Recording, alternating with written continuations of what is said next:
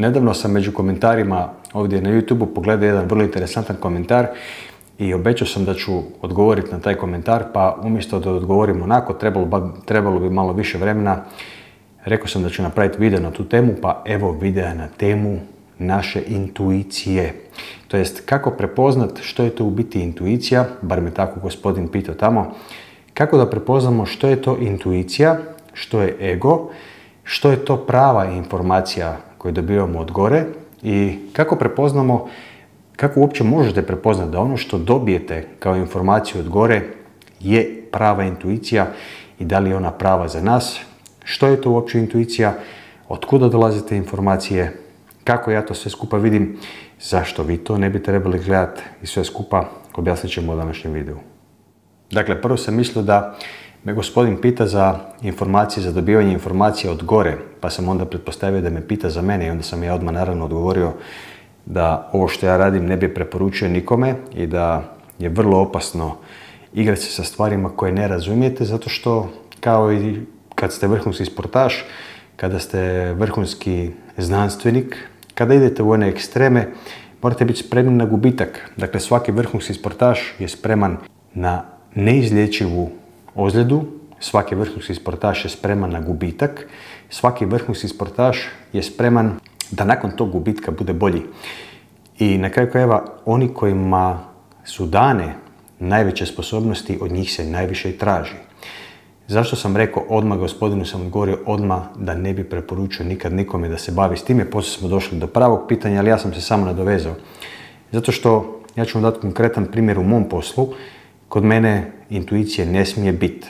Ja ne vidim stvari po svojoj intuiciji, ja ih vidim po onome što mi je dano da vidim. Dakle, ja kad radim svoj posao, ja kad se bavim strukturama čovjekovog polja, ja kada gledam vašu dušu, ja ne smijem nagađati, ja ne smijem ići po intuiciji. I ponajprije ne smijem ići po onome što vi zovete intuicija. Šta to znači za vas? Daću vam vrlo jednostavan primjer. Jer pitanje je vrlo interesantno. Dakle, kad prepoznat kad je intuicija prava, kad je to naš ego, ili kad uopće, da li uopće ta informacija koju mi dobimo kao intuicija je prava ili nije, pogotovo za nas. Ovako, u odnosu na stanje vaše iznutra, dakle u odnosu na količinu vaše pravednosti, u odnosu na količinu koliko ste vezani za ovo zemaljsku logiku, u odnosu na količinu vaše vezanosti generalno za materijalni svijet, u odnosu na vezanost za to da budete uvijek u pravu, u odnosu za želju za kontrolom i u odnosu na strah, takva će vam intuicija biti. Evo vam jedan klasičan primjer. Ajmo reći da ste veliki borac za pravdu.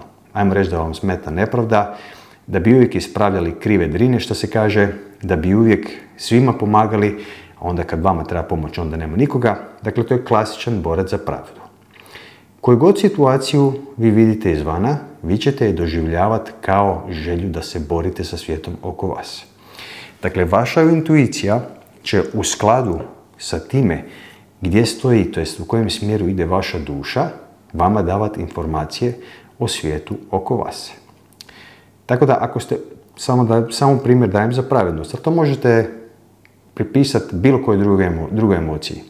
Dakle, ako ste veliki borac za pravdu, vaša intuicija će uvijek biti nepravda. To jest, što god da vi vidite izvana, koju god informaciju da vi dobite kao intuicija ili ono što vi zovete intuicija, što god da vi smatrali kao nešto što ste dobili kao informaciju izvana će uvijek biti usmjerena na ispravljanje, na osuđivanje i na borbu sa svijetom oko vas.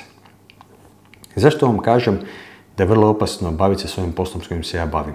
Zato što tu morate biti potpuno čisti, ne čisti iznutra, zato što da bi bili potpuno čisti iznutra, onda vas ne bi bilo na ovoj zemlji jer to ne postoji. Ali morate biti u najmanju ruku malo pomaknuti ono što se kaže kod nas u stranu i morate biti odmaknuti od očekivanja, od želje za pravdom i od želje da spašavate svijet oko vas. Dakle, s obzirom na to kako je vaše stanje iznutra, dakle kam smjer u kojem ide vaša duša, ono za što ste vezani, takve informacije ćete dobiti kao vašu intuiciju. To je ono što je, se zove vaša podsvijest. I možete po tim stvarima možete jako dobro prepoznat što je to što ste vi iznutra, što je to za što ste vezani. Naravno, to nije tako jednostavno, zato što ima koji put situacija gdje vam od gore stvarno pokušavaju pomoć, ali onda ta informacija koja dođe kod vas bit će opet isfiltrirana vašom sviješću, onim što ste naučili, vašim karakterom i onim što želite vidjeti u budućnosti. Pa će opet vaša intuicija biti da je možda bolje ne imati posla s onim čovjekom zato što je on tamo u nekoj stranci pa će on nešto željeti od vas. Dakle, ovo vam dajem samo kao primjer. Ono što vam hoću reći je da od gore vam konstantno pomažu, svima nama konstantno pomažu. Problem je samo u tome što mi zbog naše iznutra vezanosti, zbog naših strahova, zbog naše želje za sigurnošću, zbog naše želje za kontrolom, nerijetko ne, ne možemo vidjeti pravu sliku, zato što prava slika je skrivljena s onim za što je vezana naša duša. A naša duša je naša podsvijest, a naša podsvijest je naš karakter. Dakle, ono što se dešava od gore je da vam konstantno pokušavaju pomoći. Samo što čim ta informacija dođe u vašu svijest, vaša svijest će automatski isfiltrirati onako kako je vi želite vidjeti. I upravo zato je vrlo opasno, vrlo opasno slušati nekoga u bilo kojem smislu, vjerovat nekome u bilo kojem smislu u potpunosti. I zato ja vama uvijek u svakom videu govorim nikad ne slušajte nikoga, mene, drugoga, trećega, nikoga. Sve morate proživjeti sami, mora biti vaše iskustvo. Ja vidim stvari jasno zato što sam odmaknut od tog materijalnog svijeta na način da mene ta filtracija toga što dobivam više ne veže, za, ne veže me za uspjeh, ne veže me za vanjsko mišljenje, zato što ja vama govorim istinu, da želim nešto drugo, ja bih vam pričao ono što želite čuti.